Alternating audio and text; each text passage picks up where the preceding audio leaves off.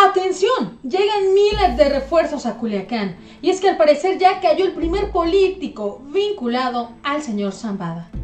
El gobierno mexicano y la fiscalía no descartan que haya existido una intromisión de agentes de Estados Unidos en territorio mexicano para lograr la detención de Joaquín López y el señor Ismael.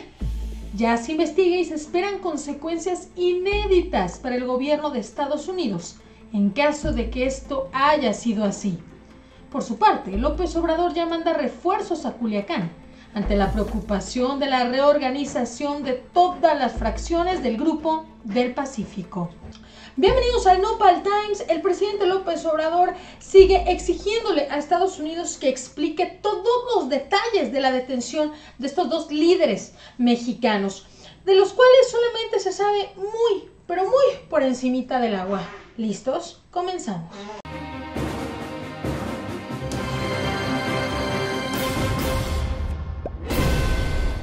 ¿Cómo están mi querida familia en Nopal Times? Les platico cómo pues Estados Unidos sigue sin dar detalles a México sobre los arrestos de estos dos delincuentes. A cuatro días de que las autoridades de Estados Unidos hicieron pública estas detenciones, el presidente confirmó que aún no tiene más información sobre el tema.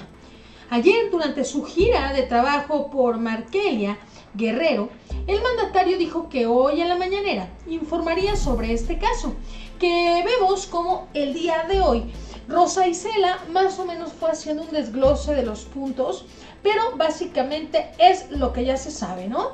Que el señor Zambada no pues lo traicionaron, básicamente lo entregaron, que incluso se dice él pensaba o estaba negociando su entrega ya debido a una grave enfermedad, que Joaquín llevaba incluso también años negociando su arresto, entre otros detalles, pero la verdad es que muy pequeños, nada de trasfondo, nada importante.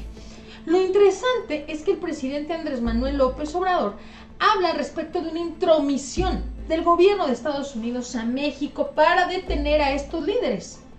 No se descarta, pero aún no hay pruebas.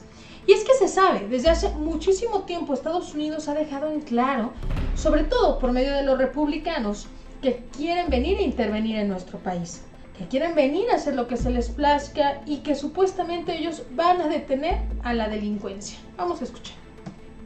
No se descarta, pero este, no hay pruebas. Lo que sí les podemos decir es que no participó eh, el gobierno de México. O sea, no participaron las Fuerzas Armadas de México.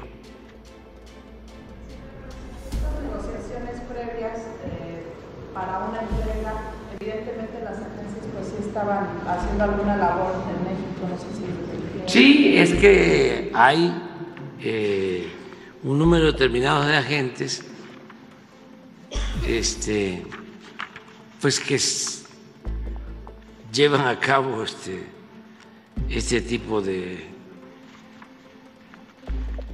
de acciones.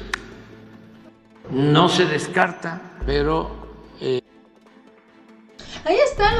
del presidente Andrés Manuel López Obrador, el cual no se va a quedar de brazos cruzados esperando a que Estados Unidos le informe, sino que le da la orden a la Fiscalía General de la República de investigar estas detenciones en Estados Unidos. El último informe del gobierno estadounidense confirmó que no hubo operaciones para esta detención, lo cual adelantó Rosa Isela el viernes al afirmar que estas capturas no fueron consecuencia de ningún operativo. Me parece excelente que la Fiscalía esté poniendo también de su parte y efectivamente que no solamente dependan de lo que Estados Unidos decida decir o no decir, soltar o no soltar. Que lo exigen porque el pueblo de México merece saber qué está sucediendo. El Gabinete de Seguridad encabezado por López Obrador dará seguimiento a las investigaciones hasta que se esclarezca el desarrollo de los hechos en los que Ismael y Joaquín quedaron bajo custodia de las autoridades estadounidenses y en cuya acción no participó el gobierno de México. Ahora, el presidente López Obrador da a conocer información muy importante, donde asegura que no hay nada que indique que pueda haber enfrentamientos, que las cosas se ve hasta ahora estarán tranquilas en Culiacán y todo Sinaloa, pero de todas maneras, amigos, yo lo veo un poco difícil, ya que este video se hace viral donde delincuentes de estos grupos delictivos destruyen la capilla y se llevan los cuerpos del padre y del hermano del licenciado en el Dorado, Sinaloa.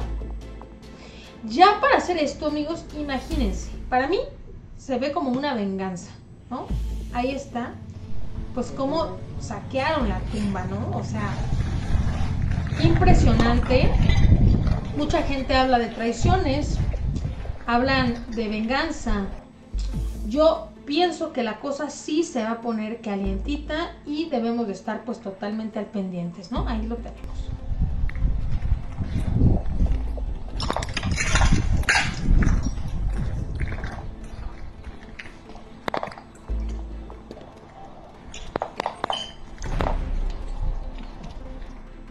ya llevarte de verdad personas ya sin vida, pues imagínense, y obviamente la familia del licenciado pues debe estar en shock, ¿no? Pero bueno, si al final ellos también fueron parte de este engaño, pues la cosa se viene, se viene caliente y es por eso que llegan 200 elementos del ejército mexicano para fortalecer la seguridad tras la captura de estos dos delincuentes. Y ahí está, amigos, estos mega operativos que se están llevando a cabo. Aquí están nuestras queridas y respetadas autoridades.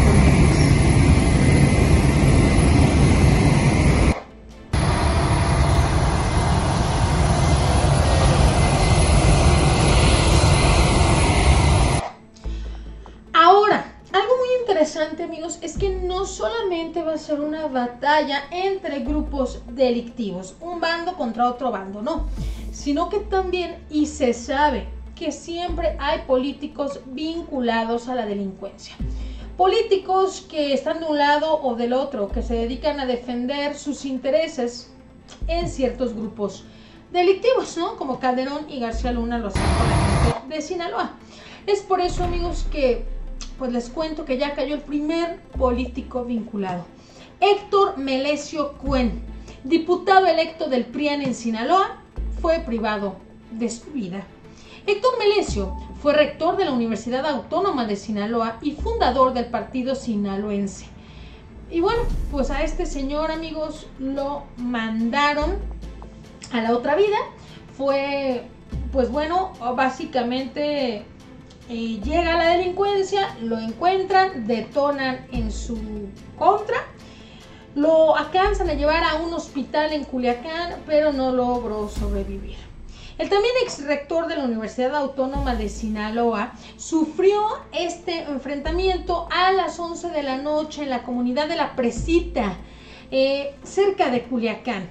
Algunos colaboradores lo trasladaron a un hospital particular en donde recibió atención médica, pero el también ex secretario de salud falleció mientras era atendido. Entonces, pues imagínense nada más, ¿no? Este señor pues del, del, que obviamente no le deseábamos esto, que esté descansando en paz, pero pues básicamente amigos ya se están cobrando todas en Sinaloa, porque pues bueno, cayeron sus jefes, ¿no? Sus patrones y deben de poner un orden. Ahora, se dice que el señor Zambada tiene cáncer, ¿no? Y que buscaba tratarse en Sinaloa antes de ser detenido. Así lo dice según Loan Grillo. La DEA puso en duda el liderazgo del señor Zambada derivado a su estado de salud física, aunque no se ha emitido un diagnóstico. La verdad, no sabemos si esto sea verdad o no, amigos. No queremos levantar falsos, pero por lo pronto, estas son versiones que han salido a la luz y pues se sigue discutiendo su estado de salud. Al final de cuentas sabemos que él ha sido el líder criminal más importante de todo nuestro país. Pensábamos que nunca jamás iba a caer, sinceramente, que era el intocable de los intocables. Y bueno, pues según Anabel Hernández padece de una diabetes controlada y de una fastidiosa rodilla que se le inflama tanto que debe sacarle líquido con una aguja con cierta regularidad. Pero no se habla de ningún tipo de cáncer, ya lo veremos ahora que está en los Estados Unidos y en caso de que tenga alguna enfermedad, pues que se le trate de manera adecuada, ¿no? Me gustaría que ustedes me digan qué opinan al respecto de toda esta información, los voy a estar leyendo. Esto es todo por el video del día de hoy, espero que les haya gustado, los invito a que me regalen su like y recuerden infórmense y no se dejen ver la cara de nopal. Nos vemos.